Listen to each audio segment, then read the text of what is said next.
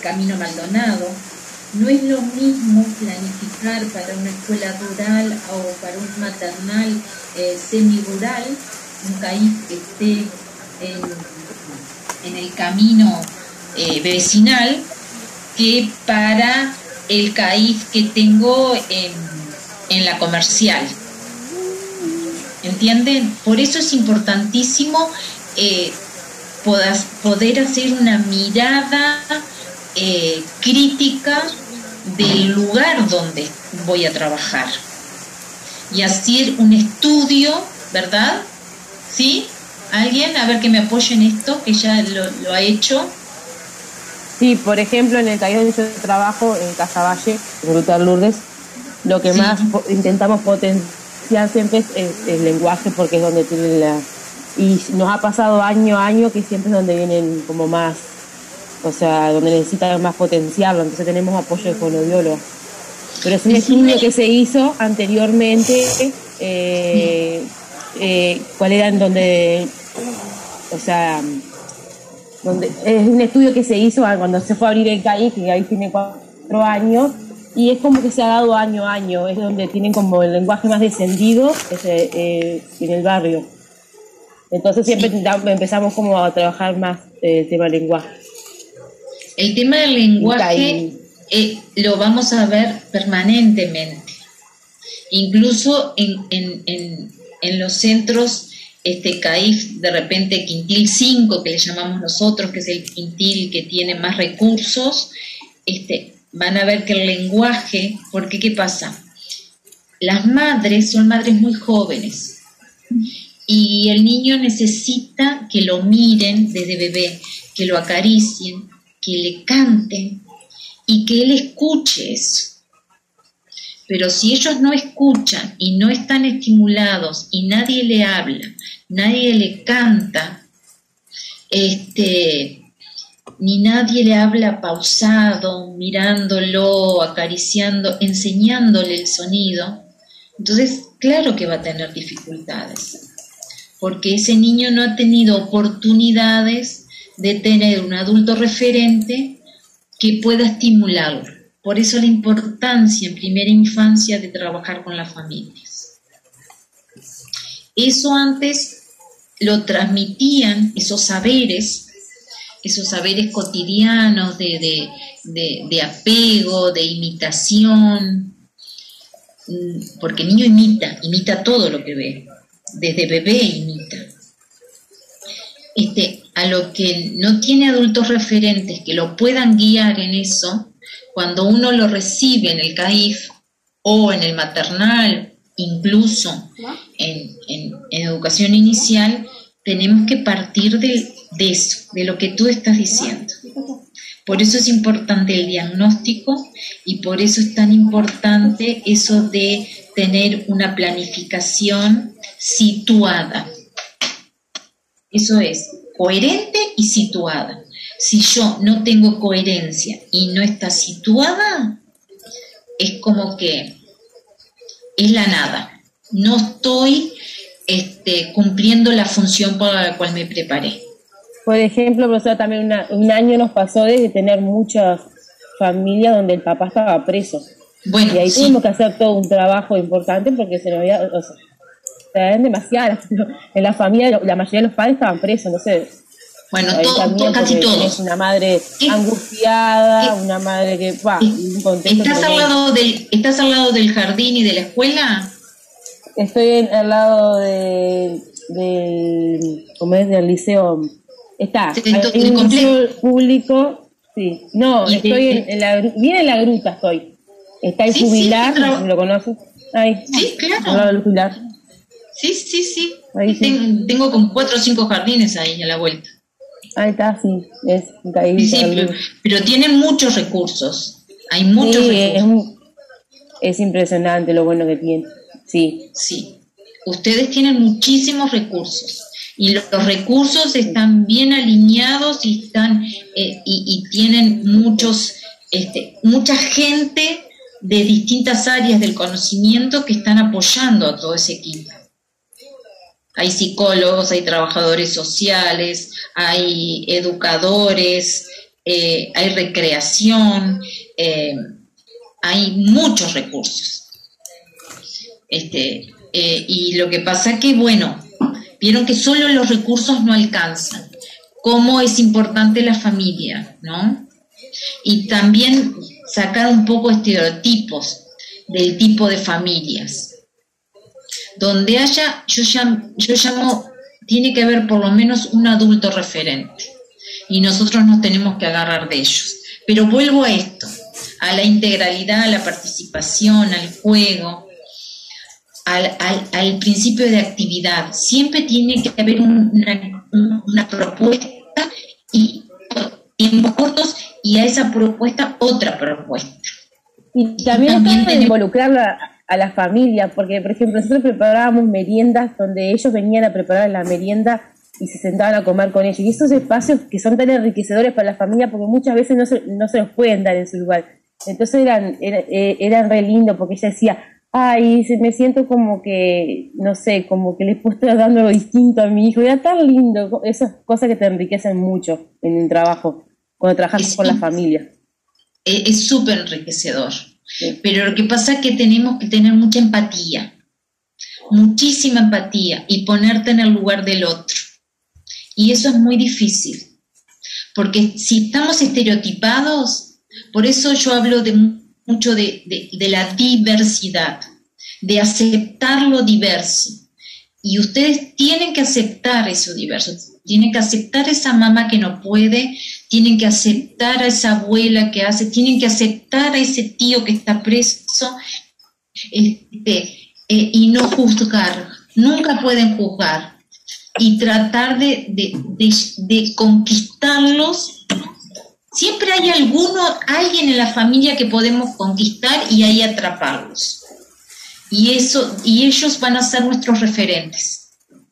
Y en esa planificación que voy a pensar, que tiene que ser coherente, situada, tiene que haber participación. Y en esa participación están todos los actores, como ella dijo, los adultos, los educadores, los psicólogos, la nutricionista, tiene que estar esa planificación contextualizada, es decir, con estrategias variadas para poder comunicarnos. Tiene que ser diversa, la diversidad tiene que estar presente. Y respetar al que quiere rayar, respetar al que quiere arrugar y respetar al que no quiere hacer nada, pero aprende desde el rincón porque está enojado. Tiene que ser gradual, tenemos que ser eh, eh, en forma paulatina, paulatina, secuenciada, hacer una secuencia de actividades, eso nos ayuda muchísimo. ¿Saben lo que es una secuencia de actividades? Ir pensando lo que yo quiero como en forma escalonada y siempre ir desde lo más global a lo más complejo o de lo más simple, lo más cotidiano, que puede ser el agarrar la mano a los amigos, hasta después lograr formar una ronda. Lo más cotidiano, que es lo que ellos viven todos los días, es la manzana que les servimos en la ingesta, este, y eso creo que en uno de los videos lo vimos, en, el sistema de cuidados, en el video de, Colombia, este, habla, miraban con lupa este, las manzanas que comían. Entonces, eh, de esa manzana pasar hasta una receta y hacer dulce de manzana. ¿Entienden por qué es secuenciado? O sea, no voy a partir del dulce de manzana, voy a partir de lo más primitivo y lo más simple, es la manzana. Y a esa manzana le voy a dar vida, la voy a sacar de un libro, la voy a sacar con un títere, la voy a sacar con una pelota que tengo escondida en mi bolsillo. Y siempre tenemos que tener eso, lo, la imaginación y lo inesperado para el niño, porque eso es lo que lo motiva. Si no está motivado, cambien de actividad. Si ustedes ven que ellos no, no los miran, no los siguen con el cuerpo o no lo siguen con la vista, tenemos que cambiar. Porque si no, no... ¿Sí? No, con la manzana digo, podéis trabajar pila de cosas. Cómo está compuesta, que tiene cáscara, que, que, tiene semilla, el color, que rueda, que es redonda. Y después llegar y transformarlos en manzanas con el cuerpo y qué significa el rodar. Ahí va. Eso es la flexibilidad, la integración, la globalización, todos esos términos están en la planificación. O sea que hay términos dentro de la planificación, que es la forma que yo voy a redactar todo esto, están dentro de estos 12 principios. Si lo que yo escribo como planificación está eh, entrelazado a alguno de estos principios o casi todos estos principios, ustedes están alineadas están alineadas y están bien, rumbiadas de lo que quieren hacer. Por eso es tan importante poder manejar el marco curricular, poder hacer suyo estos términos que tenemos acá y saber qué significa cada uno y poder escribirlo, hagan esos borradores que les pido. Me faltaba? Y piensen. Los boletos de Estado. Y después en la página 66 del marco curricular hay un cuadrito que dice características de la planificación que fortalece la práctica educativa. Y ahí van a ver lo que es la coherencia, lo que es situado, lo que es participativo, lo que es contextualizado, sistemático, flexible, integrador, globalizador, pertinente, y que siempre cada cosa que estamos haciendo tiene que apostar a la cultura de cada territorio. ¿Se acuerdan que Peralta, habíamos hablado de Peralta, cómo Peralta resalta que esos grandes personas tienen que estar este, inmersos en canciones, en movimiento, con la música y con la identidad nacional? ¿No se acuerdan que hablamos de eso? De, de no poner los dibujos de no poner los dibujitos de McDonald's o no poner los dibujitos del topollillo, no el topollillo es muy viejo, no sé, del muñeco que esté de moda. O de la charla también, profe. Ahí va, Laura. O, el, o el, pacto, el pato Donald, sino que poner cosas de calidad. Por ejemplo, yo siempre pongo los mismos ejemplos para que sean simples y lo puedan entender. Si estamos trabajando la ronda, la ronda se trabaja desde que el niño puede caminar, creo, el, darle la mano al otro, jugar con el otro. La ronda eh, nos da sensación de, que somos parte y formamos parte de eso. La ronda es lo que nos nuclea. La ronda es parte de la primera infancia, incluso de la adultez también y de la adolescencia. El concepto de ronda. Y en esa ronda poder trabajar, por ejemplo, cuando les hablaba de la identidad nacional, la ronda de Petrona Viera. Petrona Viera, una pintora uruguaya que trabaja y, se, y trabaja mucho, pinta, casi todas sus pinturas tienen que ver con juegos de niños. Mostrarle una lámina y, y jugar a la imitación de esa lámina que ven. Por ese niño, por más chiquito que sea, pero que puede hablar ya o puede expresarse, eso tiene que ver con la cultura, porque son grandes personas, tenemos que darles cosas que desde chiquitos sepan cuál es su propia identidad. Para mí Petronaviera es parte de nuestra identidad nacional. Como poder cantar ayer o antes de ayer vi un reclame nuevo, no voy a hacer propaganda, pero es un reclame de vinos uruguayos y salen este, artistas súper genios cantando una canción de, de Mateo. ¿No la vieron? Es un reclame nuevo. Bueno, eh, ¿tú identificás la canción de Mateo? Ay, no, ahora no me acuerdo cuál era la canción. la, largo, la largo ahí, miren ese reclame. Este, para mí eso es identidad nacional, porque mezclan la música, el rap, la música, el cambian de tono, pero es una canción de eh, amigo, amigo del alma. Este, es, la letra es de Eduardo Mateo. ¿Conocen a Eduardo Mateo? Sí. Bueno, menos Amigo lindo del alma se llama la canción. Es, bueno, parte en esa canción. Y esa misma canción después la transforman en rap. Este, esas son cosas. Eduardo Mateo es riquísimo trabajar con los chiquititos. El príncipe azul seguramente, pero eso es para los más grandes. Entonces, eh, eso es identidad nacional. Y porque sean chiquititos, porque sean, parecen chiquititos, recuerden, son grandes personas y tienen derecho a conocer esa, o ponerle música con tambores o con... Rada, bueno, Rada tiene cosas maravillosas. Este, Carlos Juan Vilaró. Bueno, son fantásticos. O sea, todo lo que tenga que sea nacional, que, que forma parte de nuestra identidad, del ser nuestro, este, ellos tienen derecho de recibir eso.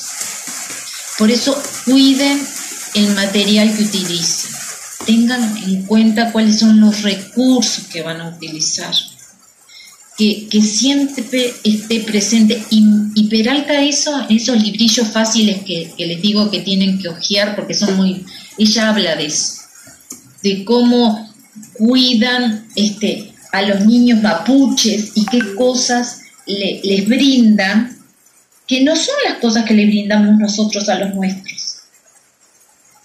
y si tenemos niños que vienen de otro lugar, porque esto, esto es un común denominador que ahora tenemos, que tenemos niños cubanos, venezolanos, este, bueno, respetar a ese niño que trae una música que es de su país y poder compartirla. O por qué el tono, el que habla mi compañero es distinto al, que habla mi mamá o a la que habla mi maestra o la que lo, de la forma que hablo yo.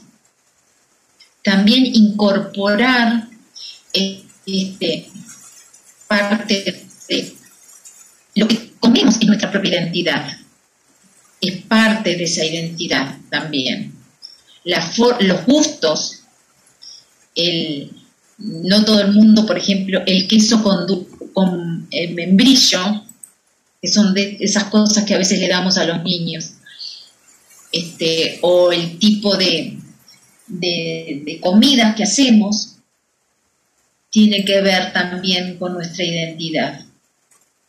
Y a eso se refiere en la página 66 cuando hablamos de eh, que tiene que estar eh, eh, culturalmente pertinente.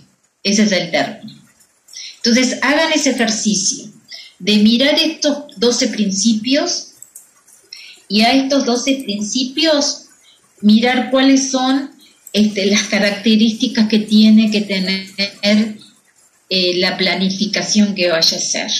A ver si, si estos principios de la, de, la, de la planificación están alineados o tienen coherencia o están entrelazados a los principios que tiene el marco curricular.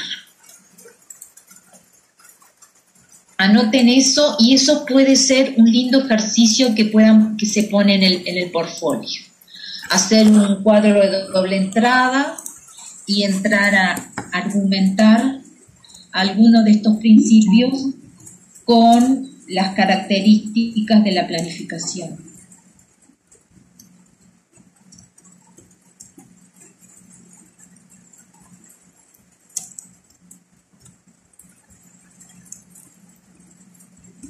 Los principios están en, el marco curricular, les digo en la página que está.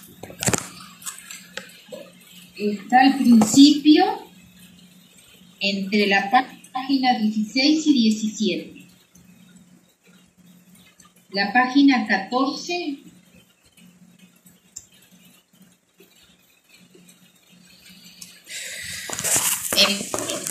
empieza y dice, la educación en la primera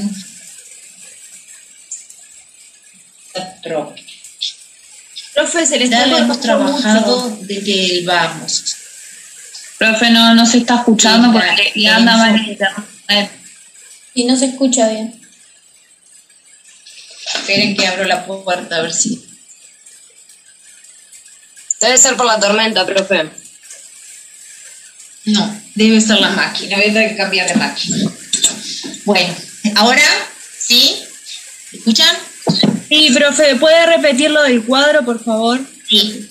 El, el, el marco curricular, página 14, página 16 y 17. Ahí, este, eh, eh, lean y analicen este, cuáles son los principios, las características, la identidad de la primera infancia, que ya le hemos hablado, que tiene que ver con la integralidad, con el ser el niño singular, con la promoción de aprendizajes que tengan significado. Tenemos que proponer actividades, proponer cosas que le sea útil al niño, que el niño sienta que eso es para qué es, y poner en palabras, nosotros como andamiaje tenemos que poner en palabras lo que el niño no puede. Nosotros, adultos, ponemos en palabras y ellos lo expresan a través del cuerpo. ¿Entienden cómo nos comunicamos? ¿Sigo? ¿O están perdidos? El cuerpo. Siga así, profe, se entendió. Ah, no, por si no estoy. Este, la contextualización, la integración de las distintas disciplinas. Yo no voy a trabajar eh, solo lengua o solo literatura o solo numera- trabajos numéricos. Voy a trabajar la integralidad a través de una canción, a través de un recurso y muchas estrategias. Y ahí están los principios del marco, que son las cosas que no pueden faltar, que es lo que estamos hablando, los 12 principios. Y esos 12 principios, analizarlos en coherencia, alineados con lo que nosotros necesitamos, cuáles son las características de una planificación. Porque el marco lo transportamos a la forma que tenemos que escribir el propósito que nos proponemos en una actividad, en una jornada, en lo que vayamos a escribir para después trabajar con los niños, que es la planificación. Entonces, la propuesta es esta. Analicen estas páginas que ya le dije del marco. La página, vuelvo a repetir, la página era la 14, esperen, esperen. 16 y 17. ahí va, 16 y 17, 14, 16 y 17. Y después con la página 66, que la página 66 eh, tienen el cuadrito, son todos cuadros de las características que tiene una planificación. 66 dijo profe. 66. Es un cuadrito chiquitito que dice características de la planificación que fortalece la práctica educativa. Profesora, Sí, ¿va a subir esta actividad luego a CREA? este, si quieren lo, lo, lo planteo, sí, lo dejo escrito. ¿Te estaría parece? bueno. Esto todo está alineado al último texto, al último PDF, que es eh, el marco curricular analizado por Tania Preso. Es una compañera nuestra que se dedica a la investigación pedagógica y que van a encontrar muchísimo material de ella. No sé si algunos la tienen como profesora. Generalmente ella está en cuarto año. Y hay otros compañeros. también. Este, Tania lo que hace es un mapa conceptual, que es lo que yo les estoy pidiendo de hace, hace un par de semanas, que trabajen, con, hay, hay compañeras que lo hicieron, eh, con mapas conceptuales. Y el que no sabe mapa conceptual, busque en internet mapa conceptual y te aclara lo que es. Porque es una forma más práctica que es parecido a un resumen, pero no es un resumen.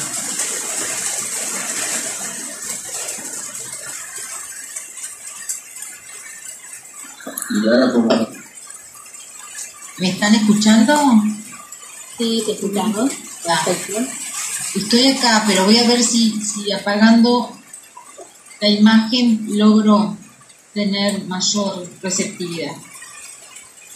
Yo lo, lo, lo, lo, pongo por escrito esto para que hagan esta actividad. Mejor. Pero tiene que ver con lo que ya tienen publicado, está alineado a lo que ya está publicado. Eh, abran ese material y, van a entender, porque ella hace como unos cuadros y explica y se visualiza muy bien. Lo importante del mapa, del, del marco que trabajamos, estos principios son el cimiento. ¿no? Para construir la torre.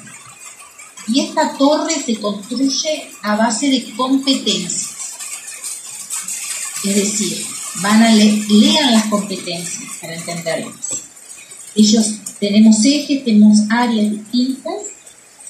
Este, nos trabajamos en, el área de conocimiento de sí mismo, o sea que es el niño con, su cuerpo, con su, su propio eje, este, después el área de la comunicación, el área del conocimiento del ambiente, lo importante es cómo incide el ambiente. Es, a ver, las que ya, ya saben, cómo incide el medio donde el niño está inserto. Es fundamental. Tenemos que tener un ojo muy eh, abierto y un oído muy atento al, lugar donde yo voy a trabajar. Porque si yo puedo comprender el lugar donde estoy y puedo eh, visualizar las costumbres, eh, los colores, los aromas, eh, hasta incide, ¿saben en qué? En los edificios, en, lo territorial, cómo es. Yo puedo este, comprender eso, desde ahí sale mi planificación y desde ahí tengo que buscar el, el marco curricular. Porque no es lo mismo el niño que tiene mucho verde que el que tiene verde y tiene árboles. No es lo mismo el niño que vive en asentamientos que tienen una casita pegada a la otra, como le pasa a la compañera en, en, este, o aquellos que eh, viven en la ciudad vieja, que son solo pensiones. Los intereses van a ser otros. Los intereses que tiene el niño, y voy a escuchar esos intereses, pero no por eso voy a dejar de darle recursos de calidad porque él está en la ciudad vieja o porque está en el campo o porque están en pleno Casaballe, ¿Entienden? Ellos tienen los mismos derechos de escuchar a Eduardo Mateo, de ver la lámina de Petronaviera o de hacer un circuito, una ronda o cantar el arroz